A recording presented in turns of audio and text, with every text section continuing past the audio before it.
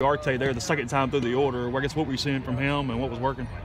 Uh, well, he kind of just he was coming at us with it looked like the same pitch. Like he was throwing something that was like I mean his fastball was like 84, Yeah. 83 to 85, and then he was throwing what I mean looked like a slower fastball. W- It wasn't cutting; it was doing the same thing, but it was like 80 to 82. So I guess we were just really working on staying back. I mean, Coach B pulled all the hitters in the dugout, and he said try to foul the ball off over the first base dugout because when you're trying to stay that late, you're still out in front on a guy like that. So we were just really trying to stay late and work flat the other way. With the electric arms used to see on Fridays, it's got to be kind of a change of pace. Is that hard to adjust to a guy like that?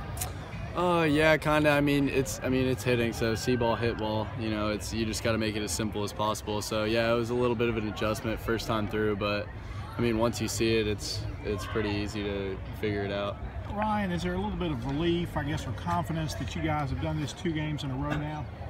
Oh yeah, I guess so. I mean, we've always we've always been pretty confident. We know what we're capable of. So, I mean, yeah, I mean it's great to win, but we we knew that we our hard work was going to pay off eventually, and those hits are going to fall, and stuff's going to start falling our way. We just had to stick with it, stick with our approach. You guys have been involved in so many of these one-run close games. Is it good to come out here and get some hits, kind of put your distance in yourself early? And Yeah, it's it's pretty relaxing. You Yeah. know, you can kind of lay back and just let let your pitcher work, and then when offense is good, it's everybody's good. You know, hitting's contagious. So, yeah, it's pretty relaxing. But uh, those one-run games are still pretty fun to be a part of. yeah. What it